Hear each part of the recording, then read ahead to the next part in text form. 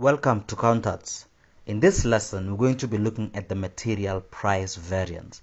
We're continuing with our lessons on standard costing. And we've done the other formulas and explained them. You'll find those lessons in the links in the description below. So what did we say a standard cost is? A standard cost is a predetermined target cost that provides a benchmark against which to measure actual performance. So that is what we've been saying that a standard cost is predetermined, that this is what you anticipate you should be able to incur, and then you use it to measure the actual occurrences or the actual costs that you incur. The difference between actual costs and standard costs is called the variance, meaning the difference between the two. The variance could either be favorable or unfavorable, and you'll see how that's applicable as we look at the material price variance. The standard material price is usually estimated based on past, present, and expected future prices and takes into consideration economic order quantities, supplier price quotes, and market conditions. So that is how a standard material price is set.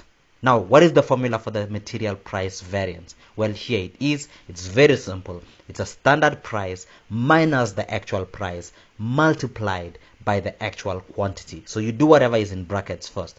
You do the standard price minus the actual price, you get that answer, and then you multiply it by the actual quantity. And pay very careful attention as to where you put what here. But it's actually a very simple formula to follow along. And remember here we are starting with the standard price because we are using it to measure our actual price. And if the answer that you get after doing these calculations in this specific order, standard price minus actual price, and then you multiply by actual quantity is negative, then you know that it's unfavorable. Now, how do we take note of this? Well, if the actual price is less than the standard price, the variance is favorable. And why would that be? It's because here we are paying for our materials. So if the actual amount that we paid for our material is less than the standard amount that we thought we were going to pay or that we expected to pay, then we know that we have saved some money. That is why it's favorable. So if the actual is less than the standard, then the variance is favorable because we paid less than we expected to pay. So always remember that. If the actual is more than the standard price, the variance is unfavorable because we paid more than we expected to pay. So if you can pay careful attention to these two statements over here, and you can see I've highlighted where less is and where more is, and what that means, whether favorable or unfavorable, then you should be fine with material price variance. And if you apply the formula as we have written it here. So let's take a look at an example that will help us understand how this formula is applied and how these notes are also applied. Here's the first example. We are asked here to calculate the material price variance and here's the information. We are told here that the standard cost of material for Malva pudding was 2 kg per unit at 7 rand per kg. That is the standard cost. So always remember that this is the one that we are estimating or we are expecting to pay during the period. And we're also told here that during the period 12,000 kg of material was purchased at 6 rand 50 per kg. So this is the actual price that we incurred. We paid 6 rand 50 per kg while we estimated that we would have paid 7 rand or we expected to pay 7 rand per kg. So we asked to calculate the material price variance.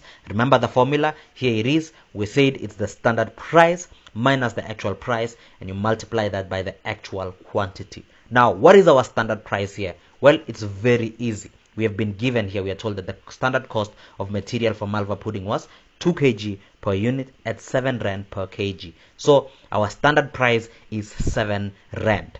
And what is our actual price? Well, we actually paid 6 rand 50 because we are told that during the period we purchased 12,000 kg of material and it was at 6 rand 50 per kg so the actual here is the 6 rand 50 so our standard price is 7 rand minus 6 rand 50 and then we multiply that answer by the actual quantity and the actual quantity here is the 12000 kg that we purchased so that's simple enough. So here's how it will look. We have 7 Rand minus 6 Rand 50 and we multiply that by 12,000 kg and it gives us 6,000 Rand. And it's favorable. And why is it favorable? Remember the notes we highlighted in the previous slide. We said if the actual is less than the standard, then it's favorable. And you can see here, we actually paid 6 Rand 50, but our standard cost was 7 Rand. So our actual is less. So we paid less than we expected to pay and we're able to save 6,000 Rand. And that is why it's favorable. I hope it's making sense here.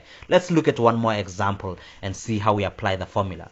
We are told here that the standard cost of material for product D is 5 kg per unit at 3 rand per kg. And then we are told also that during the period 25,000 kg of material was purchased for 78,000 rand. We are asked to calculate the material price variance and the formula once again is the same the standard price minus the actual price and we multiply that by the actual quantity now, what is our standard price here? Our standard price is 3 Rand per kg. That's easy enough. We're given and we're told. And what is our actual price here? Well, we are not given, as you can see, the actual price per unit, but we're given the total price or the total amount we paid for the material. So you can see we bought 25,000 kg of material and we paid 78,000 rand for that. So how do we get our actual price? Well, we're going to take the 78,000 rand, which is the amount that we paid, divided by the number of units that we purchased. So here it is. The actual price per kg is going to be the 78,000 rand, which is the amount that we paid, and we divide that by the total material that we purchased during the period, which is 25,000 kg, and it gives us 3 rand 12 cents per kg.